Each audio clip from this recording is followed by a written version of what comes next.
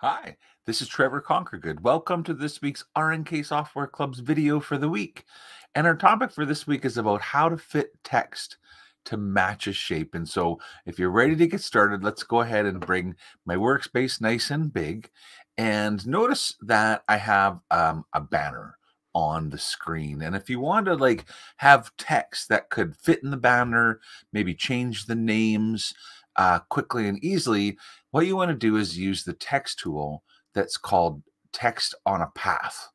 And so when I click on text on a path, um, it gives me a text cursor and I can click to sort of start the text. And it opens up a little box that allows me to choose my baseline.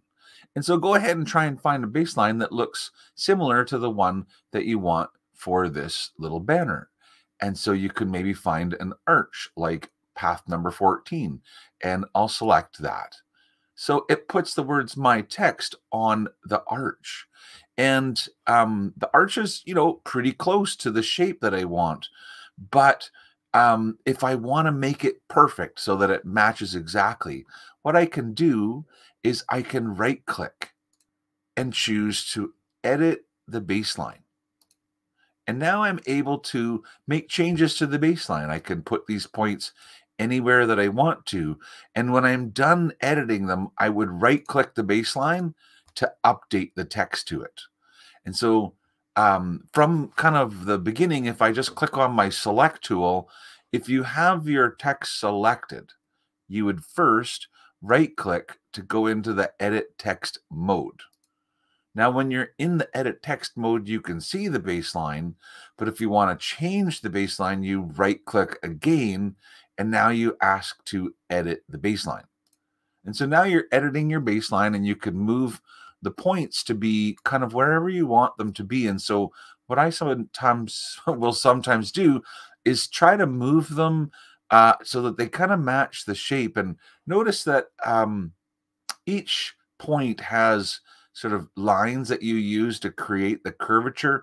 And when I made it smaller, they're kind of long as the problem. I just need to sort of play with these lines a little bit to maybe bring them not quite so far away from the point.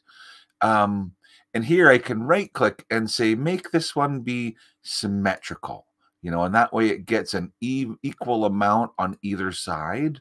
And essentially, um, I can kind of fuss over this line until I get it so that I feel like it's really equal on both sides and then I can right click. And remember, you have to right click to fit your text onto the path. Now that I've fit my text onto the path, um, even if I click on my select tool, it will always stay there. You know, and if at any point in time you want to change it, you can right click to go back into your edit text mode.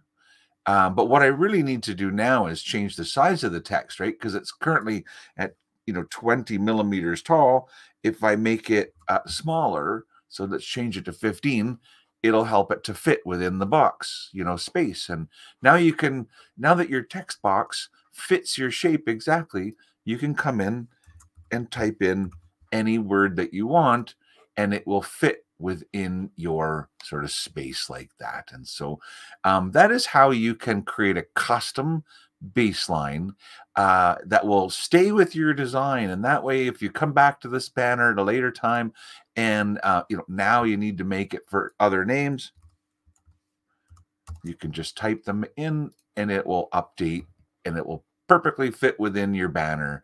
So I hope you enjoyed this week's RNK Software Club's video for the week. Until next week, have a great day, and bye for now.